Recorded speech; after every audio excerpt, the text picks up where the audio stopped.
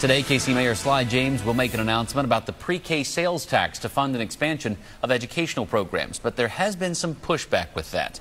41 Action News reporter Ray Daniel is live this morning talking about that. Ray, we were expecting to hear from the mayor. He gave some strong words on this topic a couple of days ago, and now he's going to go ahead and talk about this this morning, even with pushback coming his way.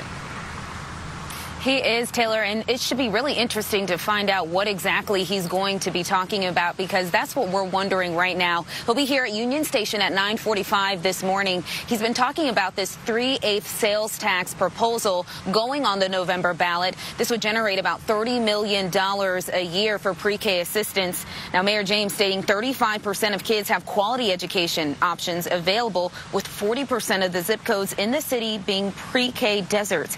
He wants to change that. But there's been pushback. KCPS, Kansas City Public Schools, released a statement asking to hold off on the sales tax proposal for the November ballot, saying the proposed plan doesn't meet the goal of providing equal access. The CEO of United Inner City Services agrees. While everyone wants early childhood education to be a priority, some are saying there are other options to go about it.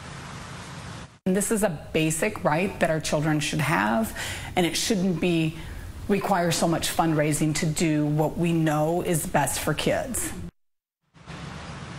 Now, the city will vote next week on whether or not this proposal is going to go on the November ballot. Again, Mayor James is going to be here at Union Station at 945 this morning. We'll keep you posted on what he says. Live in Kansas City, Ray Daniel, 41 Action News today on 38 The Spot.